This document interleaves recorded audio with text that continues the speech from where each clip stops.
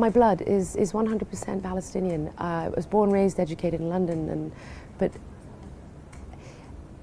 honestly, there's no words really to describe. You know, you begin at the beginning ha having some kind of vocabulary to, to sort of express that tragedy and that cruelty almost and, and, and barbarism because, and, and there is no, there is no, there is no, no one can defend the indefensible in that sense. And as a Palestinian, we are watching genocide unfolding before our eyes. And that is undeniable. And you have, you know, whether it's the UN representatives confirming, and these are people who've been doing this for, for decades. But set out, set aside definitions, set all that aside.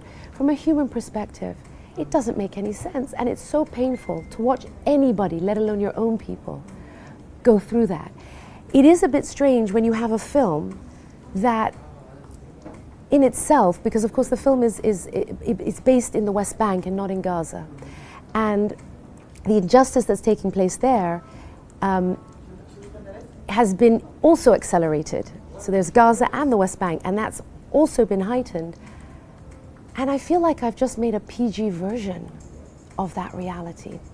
Like it's it's it's how, how can I depict that now? That what's happening in Gaza is just beyond, and it's painful. It's extremely painful, and we're all feeling. And when I say all, I mean friends, family, communities, people who are not Palestinian.